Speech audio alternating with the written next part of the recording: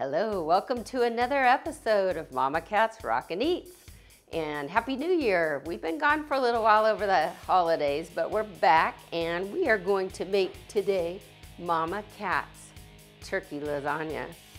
Here is some of the ingredients and you'll see we have sauce, we have some cheese, we have some um, spices and Parmesan cheese. And what I usually make lasagnas with ricotta cheese. Today we're gonna use cottage cheese, so we'll see how that turns out. I'm sure it's gonna be fantastic. And ground turkey meat instead of ground beef or sausage, which is a little healthier, so after the new year, it's kind of a nice way to go. We're gonna do that. So let's get started. And the recipe will be in the description below. I already did my noodles, so you'll see them here. I laid them out on foil. I, I boiled them, just a little salt, a, a drizzle of oil in it just so they don't stick and they come out so nice and now they'll be all ready to layer and I did that ahead of time to save time on the show. All right, so now we'll start the meat. I bought this big pack, three pound of turkey meat. We only need two pounds. So I'm gonna use the, the other pound for tonight's dinner. I'm gonna turn on my, I'm just doing mine in a pot like this because we're gonna make this for the meat and the sauce all one pan. I use ground turkey a lot. It's just a little bit healthier and you don't know the difference. Some people say, yes, I do. Mm, you don't if you put the right seasonings in. You don't. Here goes the meat. And you might think, why, why Mama Cat, are you not eating lasagna for dinner? It's because we are taking it to California. We're gonna pack it up in this. We're gonna take it and cook it at our kids' house. It's a nice thing if you need to take it to a party. You can cook it there, you bring it cooked of course, but it tr it'll transport in the car on a car ride to California on a cooler. So that's what we're doing. All right, the meat's starting to cook up. I'm gonna turn it up a little more to medium high, break it up.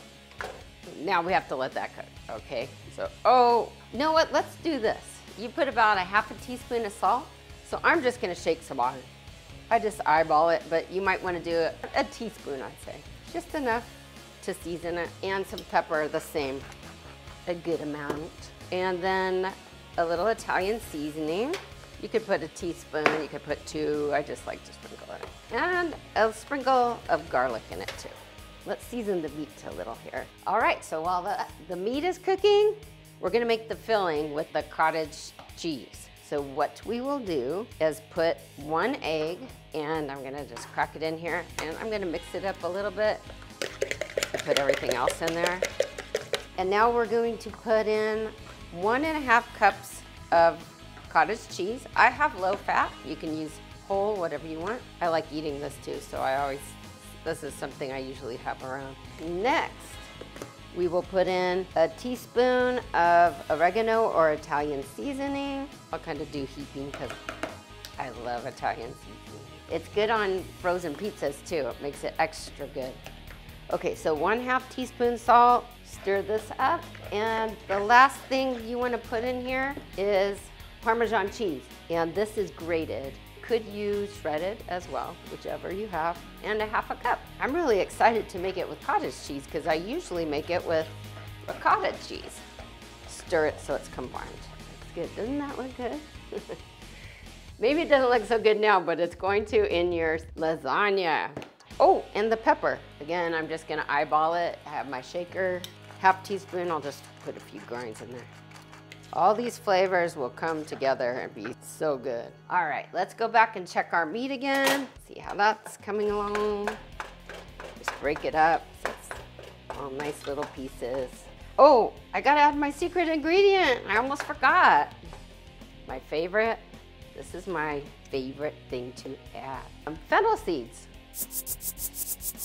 Adding this to ground turkey recipes gives it a sausage um, seasoning flavor. It really adds a lot. That's a, that's a um, secret that I would like to share. Try it when you make, uh, you know, any kind of Italian foods. Put it in your meat. You can even put it in ground beef for, for that flavor.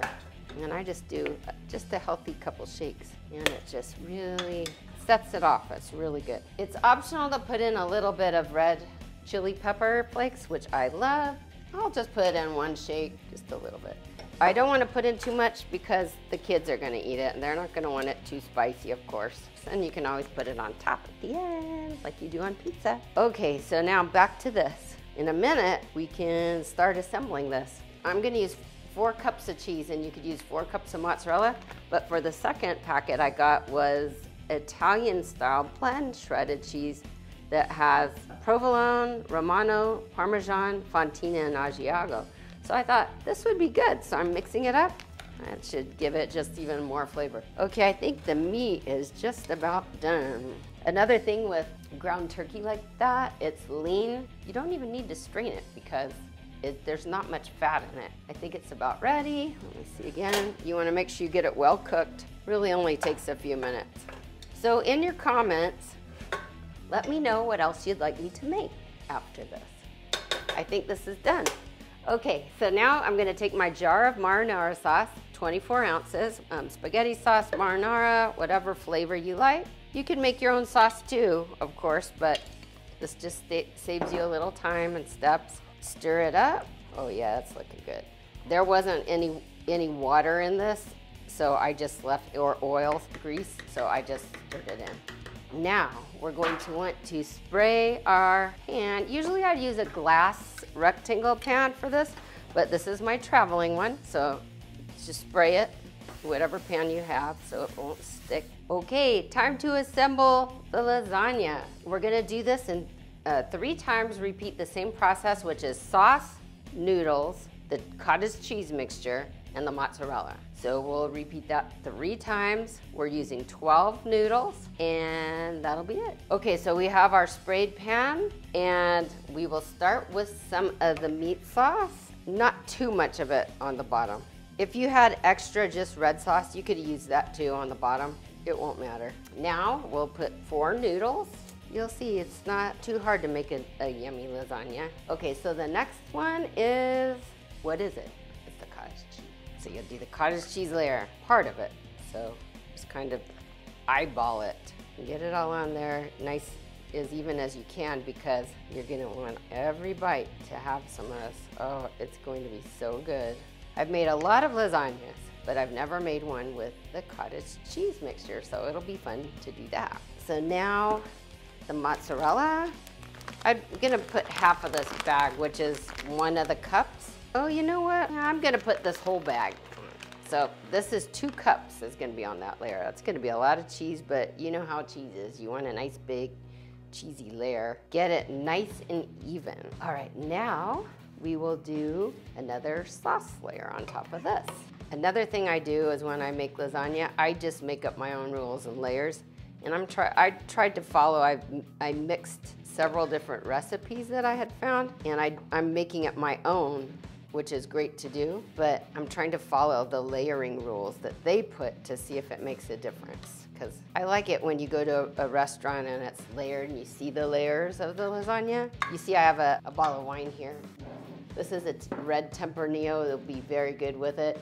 You could have a Cabernet, you could have Sangiovese, you could have a Chianti. Any red wine will be really good with this red sauce. All right, now we need more noodles. Four more, layer them on. All right, there's four more. I'm gonna turn this one this way. Then the rest of the cottage cheese layer. So I'm actually doing two layers of the cottage cheese. Spread it on there. That's one thing, don't, don't sweat the small stuff. If you know, you messed up a layer that you were trying to follow or something, it's all gonna be good. But like I said, I wanted to try these specific layers to see how it comes out. So the end pieces are good too. You don't wanna cheat the people that have the end pieces either. Now, We'll do mozzarella again. We'll do the Italian shredded cheese. Can you imagine how yummy that's gonna be? All right, so I'm gonna save the rest of it for the very top. And now some more sauce and then the rest of our noodles. So there's that. And now we'll finish the next noodles and then the last mozzarella cheese. So four more. It really works nice on the foil like that. And to have it done ahead of time, done. Just get the noodles out of the way. There's also the, the non-bake noodles that you just put in. I've never done those, but you can try it. Okay, so there's that. And now the last one is cheese. And this is what's gonna get all bubbly and yummy. I'm gonna just put a little bit more Italian seasoning on top. It'll look pretty when, and be tasty, but it'll look nice when you see it all bubbling, all the cheese on it with the little green. All right, so that's it. Look how, this is what it looks like. Now, I'm gonna use the same foil I used for my, to dry my noodles on and let them cool off. And I just made a little cover from it. And then I didn't have to waste that foil. And you just cover it up really good. Now the nice thing is, I have this little lid too, so that'll go right on top of the foil. And it's ready to go in the car on some ice in a little cooler bag. And it will make the trip to California for the kids. We're gonna have a great time. All right, so here's Mama Cat. Now we got the lasagna to California to the kids' house, and here they are. Look at these boys, Elias and Isa. And the little Cyrus is asleep. So now we're going to cook lasagna. You guys want lasagna for dinner? Yeah. Raise your hands if you want it. Raise your hand. I think our cameraman does too. Okay, so we're gonna put it in at 375 for 30 minutes, covered with foil, and then we'll do 30 minutes or 25 uncovered. All right, so the timer went off, and Cyrus says, take out the lasagna, Mama Cat, right? See what this looks like. Ooh, Oh, that looks good. Look at that. Mm. All right, so we're gonna cut it up, and we'll show you a piece of it in just a minute. Looks like pizza.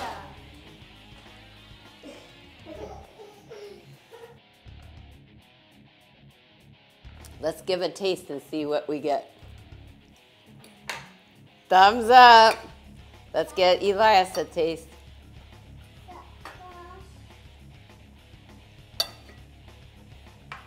Think the look says it all. And let me get, take a taste.